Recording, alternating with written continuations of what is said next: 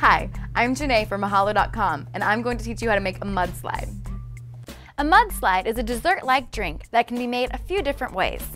What you need for sure is some Kahlua and some Baileys. For those of you who want to add a little something something extra, you could always add vanilla vodka. This drink is made with equal parts. So today with our two liquors, we're going to go ahead and put one ounce of Bailey's and one ounce of Kahlua. You're to stick the Kahlua in first because you want the dark liquor on the bottom. And then the Bailey's you stick on top because because it's thicker, it will actually float and make a nice layered look.